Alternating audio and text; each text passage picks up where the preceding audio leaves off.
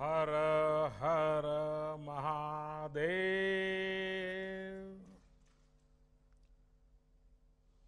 काशी के पुण्य धरती के आप सब पुण्यात्मा लोगन के प्रणाम हो। सावन महीना चल रहा है। ऐसे में बाबा के चरणों में आने का मन हर किसी को करता है। लेकिन जब बाबा की नगरी के लोगों से रूबरू होने का मौका मिला है तो ऐसा लगता है कि आज मेरे लिए एक दर्शन करने का सौभाग्य प्राप्त हुआ है। सबसे पहले तो आप सभी को भगवान भोलेनाथ के इस प्रिय महीने की बहुत बहुत शुभकामनाएँ। ये भगवान भोगल भोलेनाथ के आई आशीर्वाद है कि कोरोना के इस संकट काल में भी हमारी काशी उम्मीद से भरी हुई है, उत्साह से भरी हुई है। ये सही है कि लोग बाबा विश्वनाथ धाम इन दिनों नहीं जा पा रही और वो भी सावन में न जा पाना। तो आपकी पीड़ा मैं समझ सकता हूँ। ये भी सही है कि मानस मंदिर हो, दुर्गा कुंड हो, संकट मोचन में सावन का मेला सब कुछ स्थगित हो गया है, नहीं लग पा रहा है। लेकिन ये भी सही है कि इस अभूतपूर्व संकट के समय में और मेरी काशी हमारी काशी ने इस अभूतपूर्व संकट का डटकर मुकाबला किया है। आज का ये कार्यक्रम भी तो इसी की एक कड़ी है। कितनी ही बड़ी आपदा क्यों न हो, किसी को काशी के लोगों की जीवटता का कोई मुकाबला नहीं कर सकता। जो शहर दुनिया को गति देता हो, उसको सामने कोरोना क्या चीज़ है? ये आपने दिखा दिया है। मुझे बताया गया है कि कोरोना के अब काशी की जो विशेषताएँ हैं इस कोरोना के कारण काशी में चाय की अड़ियाँ, वो भी सुनी हो गई है। तो अब डिजिटल अड़ी शुरू हो गई है। अलग अलग क्षेत्र की विभूतियों ने अड़ी परंपरा को तो जीवंत किया है। यहाँ की जिस संगीत परंपरा को बिस्मिल्ला खां जी, गिरिजा देवी जी हीरालाल यादव जी जैसे महान साधकों ने समृद्ध किया। उसको आज काशी के सम्मानित कलाकार, नई पीढ़ी के कलाकार आगे बढ़ा रहे हैं।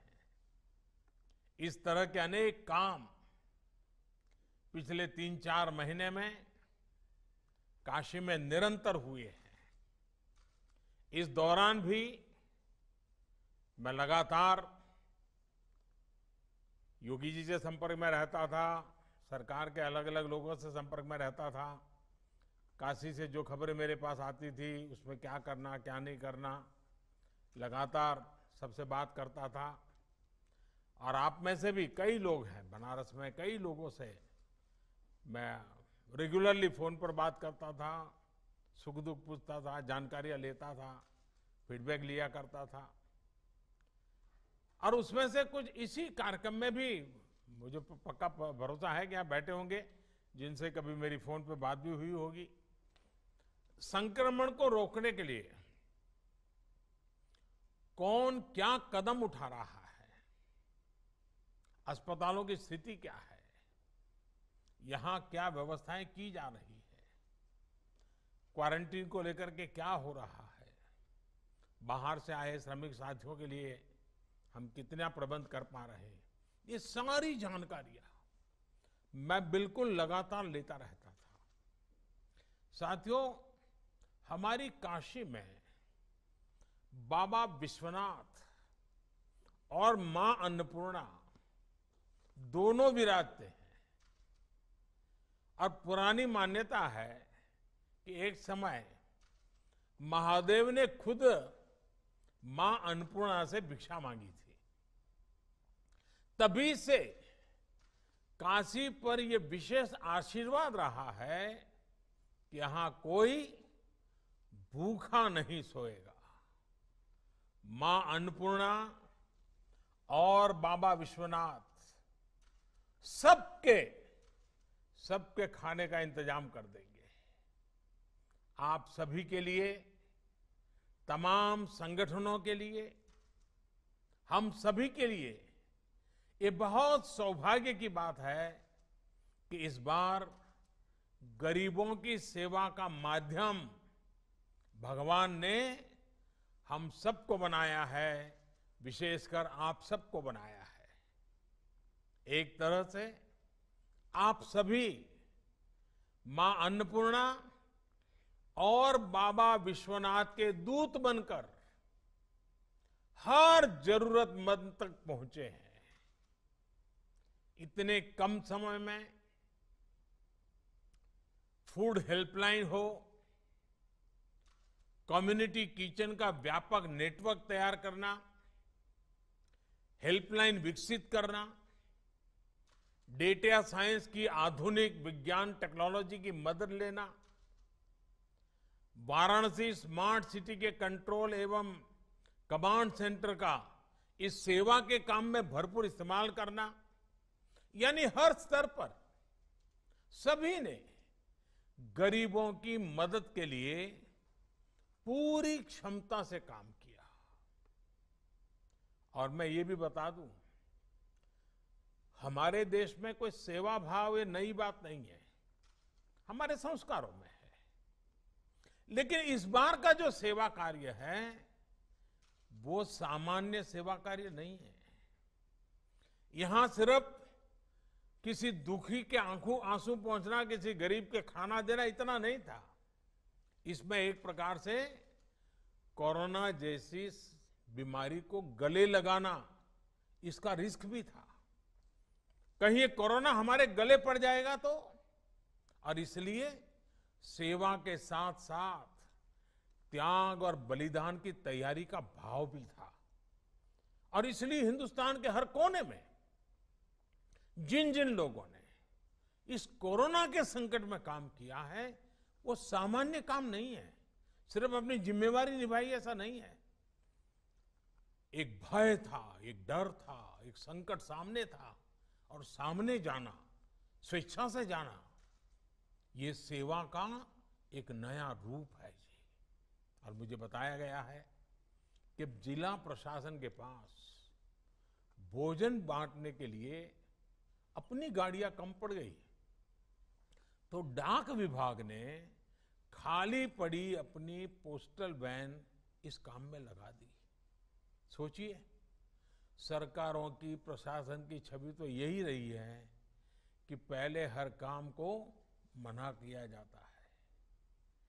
ये तो मेरा डिपार्टमेंट है तुमको तुम्हें कौन दूँगा?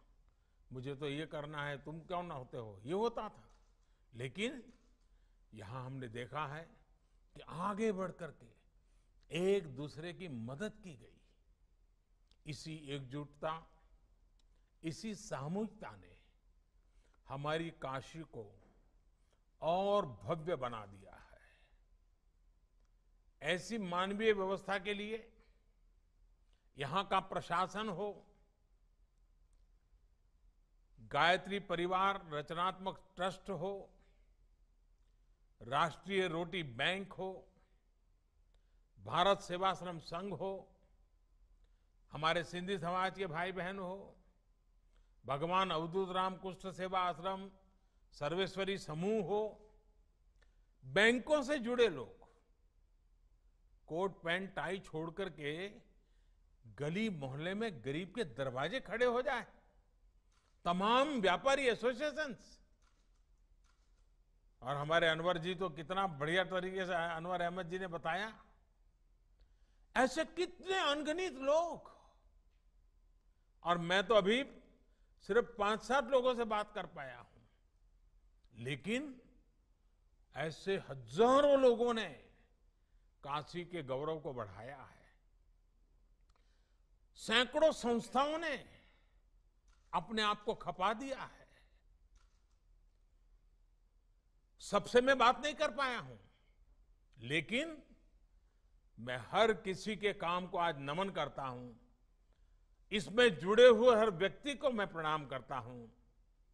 और जब मैं आज आपसे बात कर रहा हूँ, तब सिर्फ़ जानकारी नहीं ले रहा हूँ, मैं आपसे प्रेरणा ले रहा हूँ।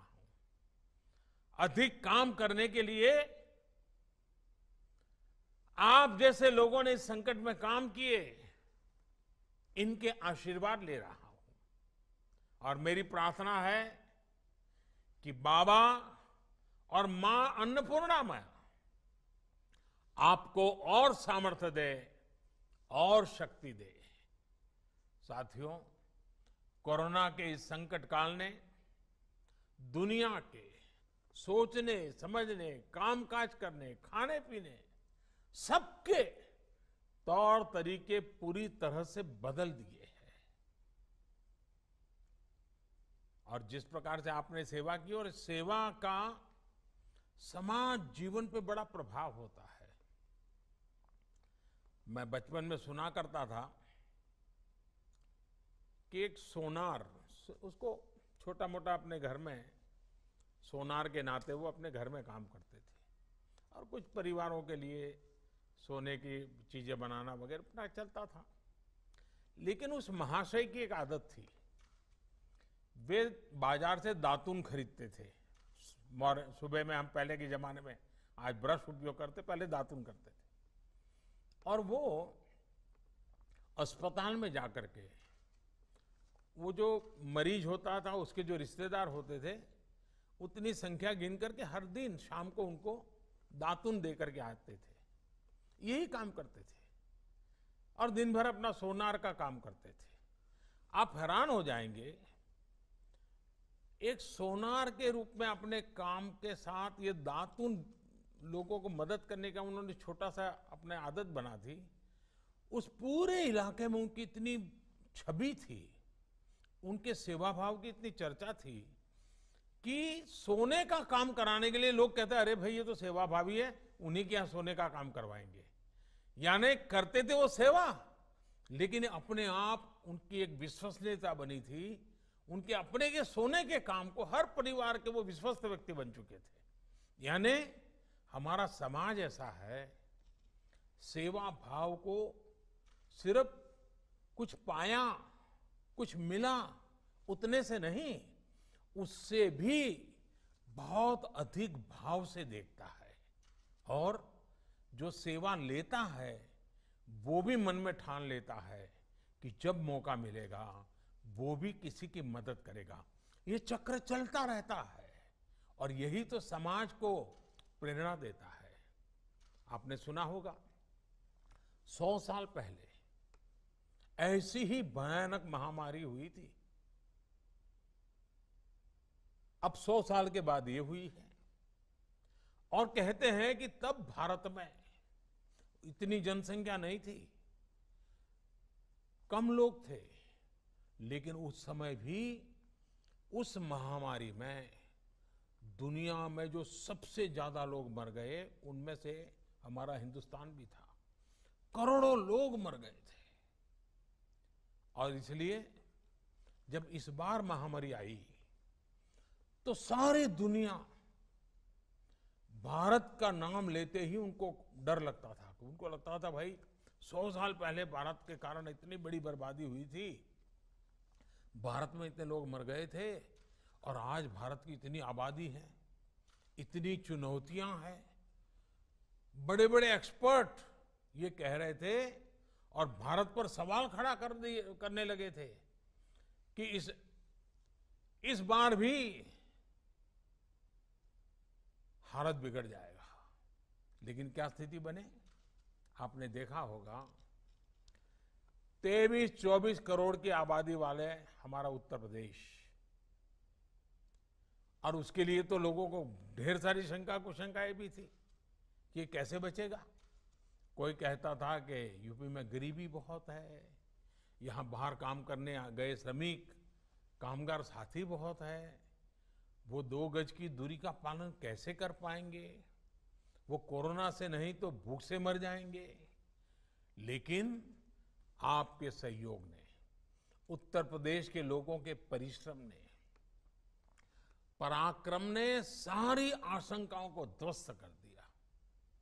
साथियों, ब्राज़ील जैसे बड़े देश में, जिसकी आबादी करीब 24 करोड़ है, वहाँ, यानी उत्तर प्रदेश जितना ही बड़ा है वहाँ कोरोना से पैंसठ हज़ार से ज़्यादा लोगों की दुखद मृत्यु हुई है।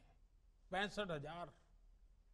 लेकिन उतनी ही आबादी वाले हमारे यूपी में करीब करीब 800 लोगों की मृत्यु कोरोना से हुई है। यानी यूपी में कोरोना से हज़ारों जिंदगियाँ, जिसकी मरने की संभावना दिखाई जाती थी उसको बचाई गई है, बचा लिया गया है। आज स्थिति ये है कि उत्तर प्रदेश ने न सिर्फ़ संक्रमण की गति को काबू में किया हुआ है, बल्कि जिन्हें कोरोना हुआ है, वो भी तेज़ी से रिकवर हो रहे, ठीक हो रहे हैं। और इसकी बहुत बड़ी वजह, आप जैसे अनेक महानुभवों की जागरूकता सेवा भाव सक्रियता।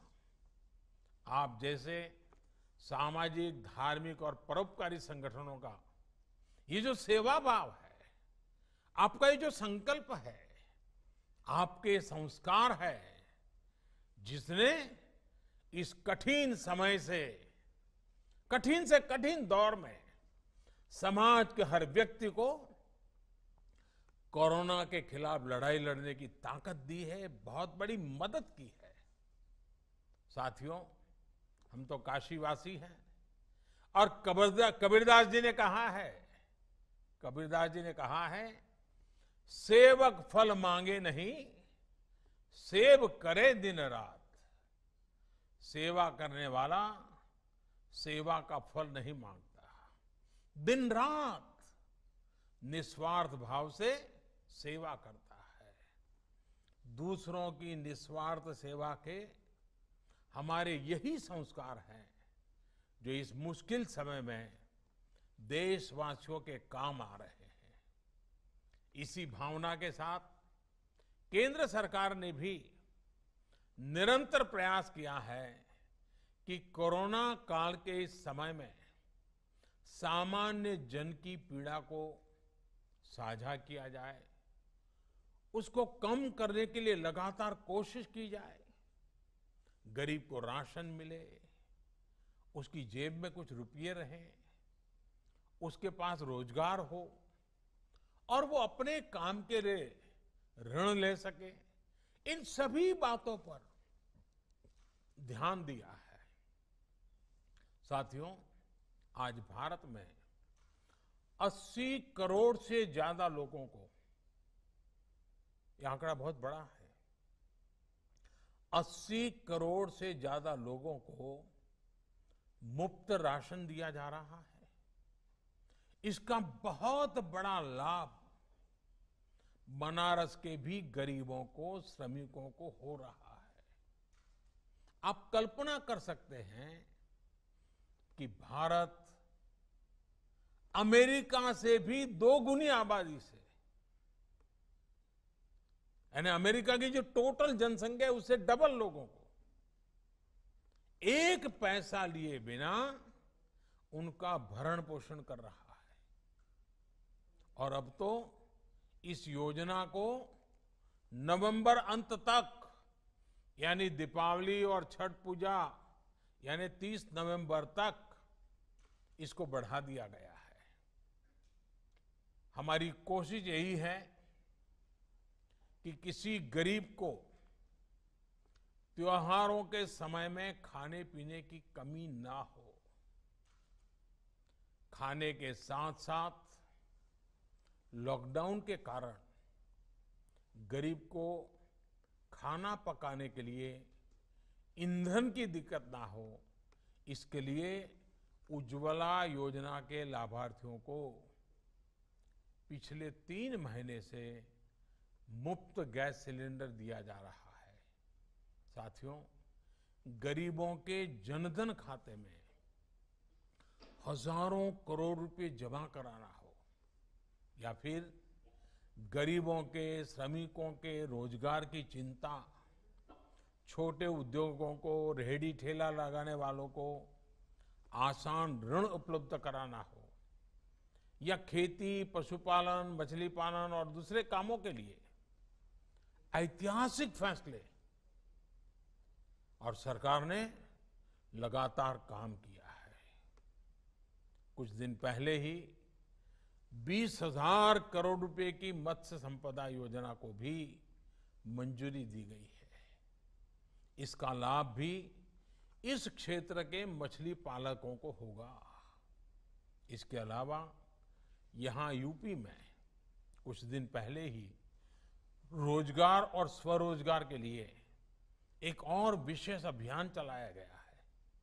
इसके तहत हमारे जो हस्तशिल्पी हैं, बुनकर है, दूसरे कारीगर है, या फिर दूसरे राज्यों से जो भी श्रमिक साथी गाँव लौटे हैं, ऐसे लाखों कामगारों के लिए रोज़गार की व्यवस्था की गई है। साथियों, कोरोना की ये आपदा इतनी बड़ी है कि इससे निपटने के लिए लगातार काम हमें करना ही होगा। हम संतोष मानकर के बैठ नहीं सकते हैं। हमारे बुनकर भाई बहन हो, नाव चलाने वाले हमारे साथी हो, व्यापारी, कारोबारी हो, सभी को मैं आश्वस्त करना चाहता हूँ कि हमारा निरंतर प्रयास है कि सभी को कम से कम दिक्कत हो और बनारस भी आगे बढ़ता ही रहे। मैंने कुछ दिन पहले ही बनारस के विकास कार्यों को लेकर प्रशासन से, शहर के हमारे विधायकों से भी, टेक्नोलॉजी के माध्यम से लंबी मुलाकात की थी, बहुत डिटेल में बातचीत की थी। एक एक चीज़ को मैंने टेक्नोलॉजी और ड्रोन की पद्धति से मॉनिटर किया था। इसमें सड़कों, बिजली, पानी हो, ऐसे तमाम प्रोजेक्ट के साथ साथ बाबा विश्वनाथ धाम प्रोजेक्ट की स्थिति को लेकर भी विस्तृत जानकारी मुझे दी गई थी। मैंने आवश्यक सूचनाएँ भी दी थी। कुछ रुकावटें भी होती है तो उसको दूर करने के लिए जहाँ जहाँ कहना था वहाँ भी कहा था। इस समय काशी में ही लगभग आठ हज़ार करोड़ रुपए के अलग अलग प्रोजेक्ट्स पर काम तेज़ी से चल रहा है। आठ हज़ार करोड़ रुपयों के काम यानी अनेक लोगों को रोजी रोटी मिलती है।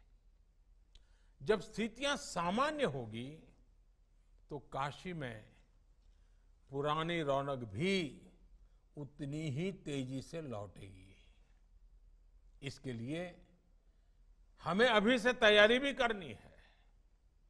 और इसलिए ही टूरिज़्म से जुड़े सभी प्रोजेक्ट्स, जैसे cruise tourism, light and sound show Dashashwamedh Ghat, उसका पुनरुद्धार, गंगा आरती के लिए audio video audio video screen लगाने का काम, घाटों पर और भी व्यवस्था प्रबंधन का काम ऐसे हर प्रोजेक्ट को तेज़ी से पूरा करने पर ध्यान दिया जा रहा है।